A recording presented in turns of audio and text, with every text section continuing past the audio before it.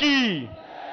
భారతీయ జనతా పార్టీ నరేంద్ర మోడీ గారి నాయకత్వం జై శ్రీరామ్ ప్రజలారా ఈ తెలంగాణలో మార్పు రావాలంటే నరేంద్ర మోడీ గారి నాయకత్వంలో కాషాయ జెండా మాత్రమే తెలంగాణలో మార్పు తెస్తుంది తప్ప కాంగ్రెస్ పార్టీ ద్వారా మార్పు రాదు. కాబట్టి సోదరులారా ఈ రాష్ట్రంలో స్వాతంత్రం వచ్చిన తర్వాత మొదటిసారి భారతీయ జనతా పార్టీ ద్వారా ఒక బీసీ ముఖ్యమంత్రి రాబోతున్నాడని మనం చేస్తున్నాను. Congress party BRS party Majlis party ఈ మూడు పార్టీలు ఒక్కటే.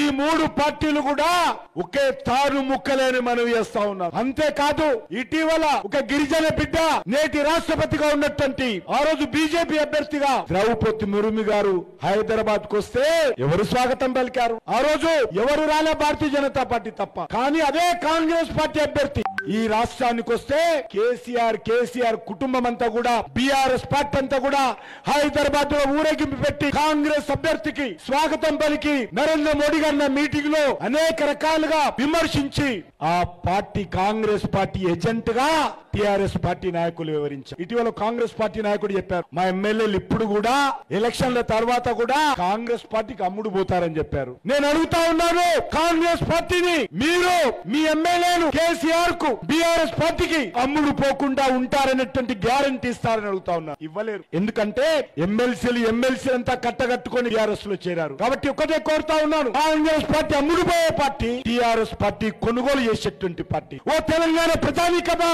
గతంలో పది సంవత్సరాలు కాంగ్రెస్ పార్టీ పాలన చూశాము. ఇప్పుడు పది సంవత్సరాలుగా టీఆర్ఎస్ పాలన చూస్తా ఉన్నాము. ఈ రెండు పార్టీలు కూడా కుటుంబ పార్టీలే అవినీతి పార్టీలే. ప్రజలను దోపిడీ చేసేటువంటి పార్టీలే. ఈ రెండు పార్టీల యొక్క డిఎన్ఏ ఒకటే బొమ్మ బొరుసు లాంటి పార్టీ. దున్నపోతులు తినేటోళ్ళు పోయి ఏనుగులు తినే వాళ్ళు వస్తారు.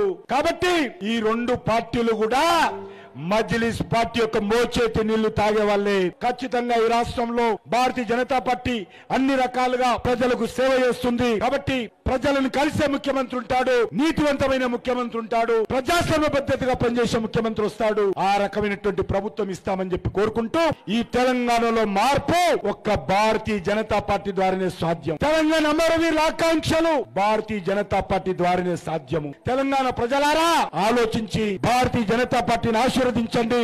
నరేంద్ర మోడీ గారిని ఆశీర్వదించని చెప్పి కోరుకుంటూ సెలవు తీసుకుంటున్నాను.